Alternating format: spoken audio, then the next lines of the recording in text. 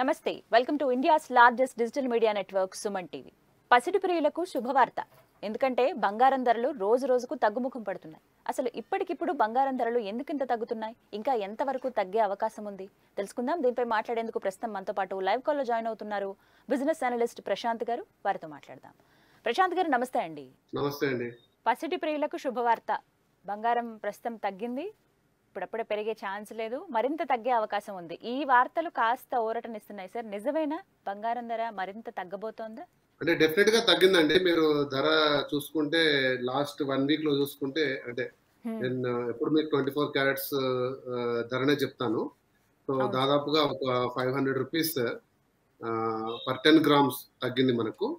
Sixty thousand నుంచి fifty eight thousand sorry fifty nine thousand five hundred or fifty nine thousand four hundred ఇంచుమించుగా అంటే ఒక hundred rupees అటు ఇటుగా trade అవుతుంది. మీకు నేను ఇంతకుముందు చెప్పినట్టు ప్రధాన కారణాలు ఏంటంటే ఎప్పుడైనా సరే బంగారం అనేది దేనికి పెద్ద ఆల్టర్నేటివ్గా ప్రపంచం చూస్తుంది అంటే యుఎస్ డాలర్. ఎప్పుడైతే యుఎస్ డాలర్ మనకు బలపడుతుందో అంటే ప్రతి ఒక్కరు కూడా తమకుండే సేవింగ్స్ని డాలర్ రూపంలో దాచుకోవాలని చూస్తారు. ప్రతి ఒక్కరు అంటే మన మన ఇండివిజువల్స్ అయితేనేమి దేశాలు అయితేనేమి సో ఎప్పుడైతే మనకు డాలర్ అనేది బలపడడం స్టార్ట్ అవుతుందో బంగారం మీద కాస్త మోజు తగ్గి డాలర్ వైపు వెళ్తారు అలాగే ఇప్పుడు కొన్ని పరిణామాలు జరిగాయండి. లాస్ట్ ఒకటి రెండు వారాల్లోగా యుఎస్ కూడా కొన్ని ఇంట్రెస్ట్ ఇంట్రెస్ట్ రేట్లు పెంచుతాము అని కొన్ని సంకేతాలు ఇస్తుంది. నెక్స్ట్ ఫైవ్ సిక్స్ డేస్లో ఒక మీటింగ్ జరగబోతుంది. ఆ సంకేతాల వలన ఇంట్రెస్ట్ రేట్లు పెరుగుతాయన్నప్పుడు మళ్ళీ డాలర్ బలపడి అమెరికాలో ఇంట్రెస్ట్ రేట్లు పెరుగుతడం వల్ల కొంచెం డాలర్ వైపు మొగ్గు చూపడం వల్ల బంగారు రేట్లు కాస్త ఉరట వచ్చాయి అంతేగాని మనం కొనుగోలుకి మనం వాడే ఆభరణాల వాళ్ళకు అంటే ఆ డిమాండ్ మూలంగా ఎప్పుడు మనకు ఈ ప్రైస్ చేంజ్ అనేది ఉండదండి. కానీ మరింత తగ్గే అవకాశం ఉంటుంది అని చెప్తున్నారండి. దీనికి కారణం ఎంతవరకు తగ్గే ఛాన్స్ అంటే- ఉంది? ఇప్పుడు అంటే 59 మనం లాస్ట్ టైం. డిస్కస్ చేసింది ఏమనుకున్నామంటే బంగారం మనం దాదాపుగా ఫిఫ్టీ థౌసండ్స్లో ఉన్నప్పుడు డిస్కస్ చేసాము up to Hmm. Seventy seventy five వరకు వెళ్ళే అవకాశాలు ఉన్నాయి బట్ మనం ఎప్పుడు ఒక లాంగ్ హరిజన్లో చూడాలండి ప్రైస్ కరెక్షన్స్ ఎప్పుడు కూడా లాంగ్ Okay. టర్మ్లో బంగారు రేటు ఖచ్చితంగా పైకి వెళ్ళే అవకాశాలే ఉన్నాయి ఇప్పుడు ఈ సంకేతాల వలన ఏదైతే యుఎస్ డాలర్ బలపడ్డము యుఎస్లో Hmm. వడ్డీ రేట్లు పెరుగుతాయని కొన్ని సంకేతాల మూలాన ఈ కొంచెం కరెక్షన్స్ అయితే జరిగాయి కానీ విపరీతంగా బంగారం మళ్ళీ ముప్పై వేలకు నలభై వేలకు యాభై వేలకు పడిపోయే సమస్య లేదండి. ఎందుకంటే అది బలంగా నిలబడుతుంది. ఎప్పుడైనా సరే ఎక్కడైనా సరే మనకు మాంద్యం అంచనాలు మాంద్యం సూచనలు వచ్చాయో అంటే ఒక. ఏదైనా దేశం ఒక కంటిన్యూస్గా రెండు లేదా మూడు త్రైమాసికాలు ఆర్థిక వృద్ధి నెగిటివ్లో వచ్చిందో అప్పుడు మాంద్యం అంటాం మనము. సో. రెసెషన్ అంటారు. అలా పరిస్థితులు వచ్చినప్పుడు ఏ దేశమైనా కూడా తమ దగ్గర ఉన్న పెట్టుబడులను బంగారు రూపంలో పెట్టుకుంటుంది.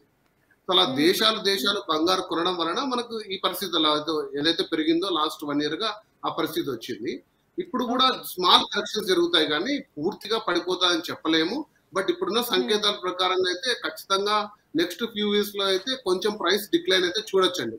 కానీ ఈ ఇయర్లో ఇంకా పెరిగే ఛాన్స్ ఉంది. ఇయర్ ఎండింగ్ కల్లా డెబ్బై డెబ్బై వేలు అయినా కూడా ఆశ్చర్యపోనక్కర్లేదంటూ అంత ప్రెడిక్షన్ అంటే నేను నేనే మొత్తం అంత ప్రెడిక్షన్ నాకు కరెక్ట్గా తెలిసింటే నేనే మొత్తం ఇన్వెస్ట్మెంట్ దాంట్లోనే పెట్టుకోగలనండి కానీ మనం కరెక్ట్గా మనం అన్నట్టు బంగారం అనేది మీకు ఎప్పుడు నేను చెప్పాను రెండు వేల పది నుంచి మనం ఒక five years to ten years హొరైజన్లో చూసుకుంటే కన్సిస్టెంట్గా fifteen to eighteen percent return ఇచ్చిందండి బంగారం. మీరు చూసుకోండి దాని ప్రైస్ కంపేర్ చేసుకోండి. ఫిఫ్టీన్ పర్సెంట్ అబౌవ్లో మనకు రిటర్న్ వచ్చింది. ఒక లాంగ్ రన్లో బంగారు ఎప్పటికీ తగ్గే సమస్య ఉండదండి. రేటు పై పైకే వెళ్తుంది. కానీ Hmm. ఈ ఇయర్ ఎంత తొందరగా ఇది అరవై వేలు డెబ్బై వేలు చేరుతుందా అనేది మనం అంచనా వేయలేము. ఒక సంవత్సర కాలం మనం అనుకున్నాము. ఆరు నెలలు అయింది సో పెరిగే అవకాశం ఉంది కానీ ఖచ్చితంగా ఇంకా కిందికి తగ్గే అవకాశం లేదు. ఏది జరిగినా కూడా స్మాల్ కరెక్షన్స్ అండి.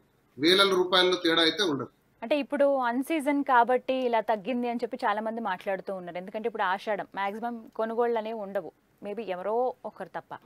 నెక్స్ట్ వచ్చేటువంటి సీజన్ కూడానండి అధిక శ్రావణ మాసం రావటము. మళ్ళీ శ్రావణ మాసం అంటే దగ్గర దగ్గర ఇంకొక ఈ నెల పై నెల కాకుండా ఆ పై నెల. సో అంతవరకు పెరిగిపోతుందేమో ఇప్పుడే తీసుకోవడం బెటర్ అనుకునే వాళ్ళు కొంతమంది. లేదు వెయిట్ చేద్దాము ఇంకా తగ్గుతుందనే వాళ్ళు కొంతమంది. యాజ్ అనలిస్ట్ మీరేమని సలహా ఇస్తారు? ఇప్పుడు బంగారం తీసుకోవాలనుకునే వాళ్ళకి. నేను చెప్పేది ఒకటే అండి. ఇప్పుడు మనం మన నేను మొదటి నుంచి చెప్తున్నాను మన రీటైల్ కొనుగోలు వలన మన స్థానిక పరిస్థితులు స్వభావం వలన బంగారం యొక్క రేట్లు హెచ్చు తగ్గులు ఉండవండి. ఎందుకంటే చాలా చిన్న కన్జంప్షన్ రిటైల్ మార్కెట్ ఆభరణ రూపం చాలా చిన్న కన్జంప్షన్ పెద్ద మార్కెటే కానీ కన్జంప్షన్ తక్కువ ఓవరాల్గా కానీ అది ఏ తేడా ఉన్నా అది కొన్ని వందల రూపాయల్లో తేడా ఉంటుంది. కానీ మనకు భారీగా తేడా ఎప్పుడు వస్తుంది అంటే బంగారు దేశాలు నిల్వల కోసం కొంటాయి చూసారా? అప్పుడు మనకు అధిక ధరలు పెరగడం తగ్గడం తెలుస్తుంది. కానీ ఇప్పుడున్న సీజనల్ మార్పులు అనేది ఖచ్చితంగా అంచనా వేయలేం కానీ బట్ కొద్దిగా ఇప్పుడు నెక్స్ట్ వన్ మంత్ వరకు అంటే యుఎస్లో పరిస్థితులు ఎలా ఉంటాయో మనకు తెలియదండి. డాలర్ బలపడుతూ వస్తున్నంత కాలం ఖచ్చితంగా మనకు బంగారం అనేది ఒక ఆల్టర్నేటివ్గా ఉండదు. డాలర్ ఎప్పుడైతే Hmm. వీక్ అయ్యి మిగతా కరెన్సీలన్నీ కూడా పైకి వస్తున్నంతసేపు బంగారం వైపు వెళ్తారు. సో నేను రిటైల్గా ఇన్వెస్ట్ చేయాలనుకున్నప్పుడు నేను మీకు మొదటి నుంచి చెప్తాను ఎప్పుడు ఆభరణ రూపంలో బంగారు ఇన్వెస్ట్మెంట్ కాదు అలంకరణకి బంగారు ఇన్వెస్ట్మెంట్ కాదు. మనకు. ట్వంటీ ఫోర్ క్యారెట్ గోల్డ్ కొనడము అది కూడా సెక్యూరిటీ ప్రాబ్లం అయితే మనం sovereign gold bonds gold bonds ఈటీఎఫ్స్లోనే invest చేయమంటాను. అందులో మీరు ఎటువంటి లాభము ఎటువంటి ఇది వచ్చినా సెక్యూర్డ్గా మనం దాంట్లో పొందవచ్చు. ఒకవేళ ఆభరణాలు మనకు ఇంటికి అలంకరణ కోసం కొనుక్కోవాలనుకుంటే కూడా ఇంకా కొంచెం తగ్గే అవకాశాలే కనపడుతున్నాయి.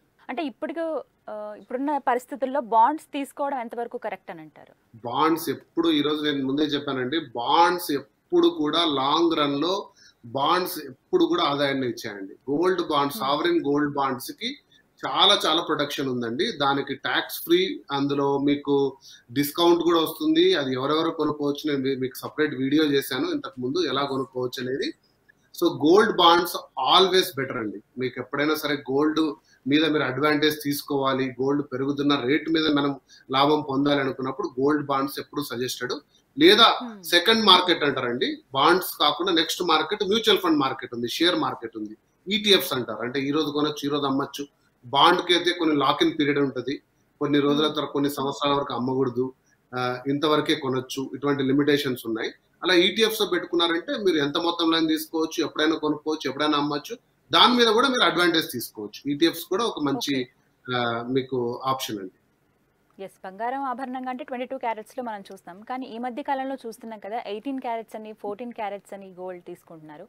ఇవి ఎంతవరకు సేఫ్ అంటే ఏం చెప్తారండి? అంటే చాలా మంది తక్కువలో మనకి ఒక మంచి ఆభరణం వచ్చేస్తుంది కదా అని చెప్పి తీసుకుంటూ ఉన్నారు. ఈ మధ్య ఎక్కువ. ఒక ఎగ్జాంపుల్ నిన్ననే జస్ట్ మా మా- మా వైఫ్ కూడా వెళ్ళి ఫోర్టీన్ క్యారెట్ గోల్డ్ తీసుకొచ్చిందండి. ఫోర్టీన్ క్యారెట్ గోల్డ్ ఆభరణం కొనింది చూడడానికి చాలా ముచ్చటగా ఉంది. నిజం బంగారం అంటే twenty four carat twenty two carat చూసి చెప్పలేరు ఎవరు. చాలా Hmm. అంటే దానివల్ల వాళ్ళకు ఆభరణాలని డిజైన్ చాలా అందంగా చేయగలుగుతున్నారు. వివిధ మెటల్స్ కలడం వాళ్ళ మూలన. సో ఇమిటేషన్ జ్యువెలరీ కంటే ఈ జ్యువెలర్ బెస్ట్ అనే అనేది వాళ్ళు డిటర్మైన్ అవుతున్నారు. కానీ ఎప్పుడైతే మనం ఒక ఇన్వెస్ట్మెంట్ రీసేల్ ఫ్యూచర్ సెక్యూరిటీ అనుకుంటామో అది ఖచ్చితంగా ఇబ్బంది పడుతుందండి. ఫోర్టీన్ క్యారెట్ని మనం రీసేల్ చేయడము అందులో ఎంత శాతం ఒరిజినాలిటీ ఉంటుంది అని మళ్ళీ రీసేల్ చేసినప్పుడు దాన్ని మనం ప్యూరిటీ బయటకు తీసినప్పుడు మాత్రమే బయటపడుతుంది.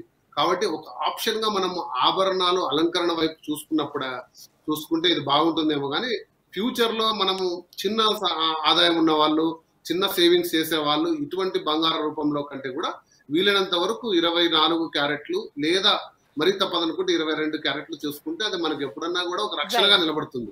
సో ప్రశాంత్ గారు ఫైనల్లీ ఏం చెప్తారు? ఇప్పుడు బంగారం కొనుక్కోమంటారా? వద్దంటారా? బంగారం నేను ఆల్వేస్ సజెస్ట్ చేస్తానండి. బంగారం ఆల్వేస్ బంగారమే. సో ఎప్పుడైనా మమ్మల్ని ఆదుకుంటుంది కాకపోతే వివిధ రూపంలో చూసుకొని మనకుండే మనకుండే సేవింగ్స్లో అధిక అధిక మొత్తం బంగారం వైపు కాకుండా ఒక టెన్ పర్సెంట్ మీరు. గోల్డ్ బాండ్స్ రూపంలోనో ఆభరణాల రూపంలోనో లేదా ట్వంటీ ఫోర్ క్యారెట్ రూపంలోనో మీరు ఇన్వెస్ట్ చేసుకోవడం ఎప్పుడైనా కూడా లాభదాయకం. రైట్ అండి. Thank you so much sir